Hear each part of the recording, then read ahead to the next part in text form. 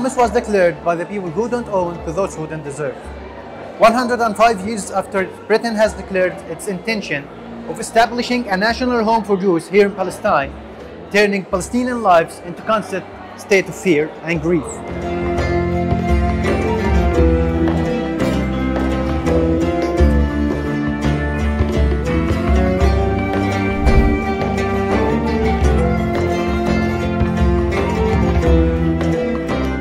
With the anniversary of the Balfour Declaration every year, Palestinians all over Palestine mark this tragic day, remembering the ongoing Israeli crimes extended since 1948.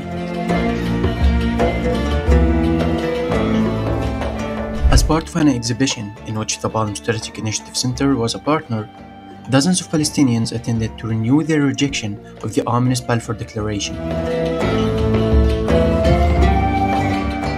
This exhibition sheds the light on the art as a tool of the Palestinians' cultural resistance against the Israeli occupation. For Palestinians, the Balfour Declaration was what gave the green light for the Zionist gangs to occupy Palestine in 1948.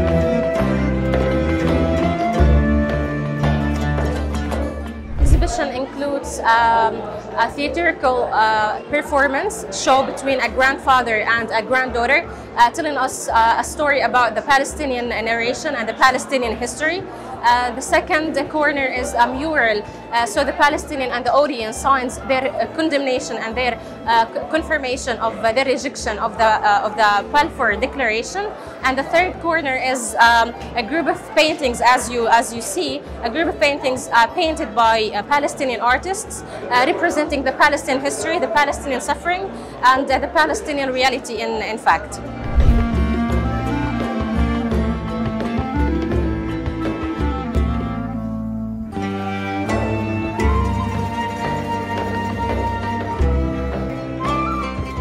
Wasn't about giving a national home for Jews in Palestine, but the Balfour Declaration allowed the Zionists to declare the State of Israel on the ruins of dozens of Palestinian villages destroyed by Israeli gangs. Balfour facilitated the displacement of 750,000 Palestinians during the 1948, during which the Zionist militia committed dozens of massacres against Palestinians.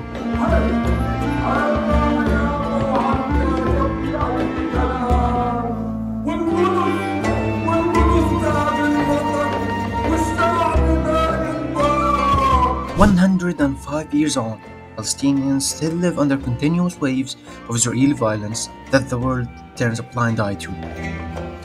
105 years on, the old might die, but the young will never forget.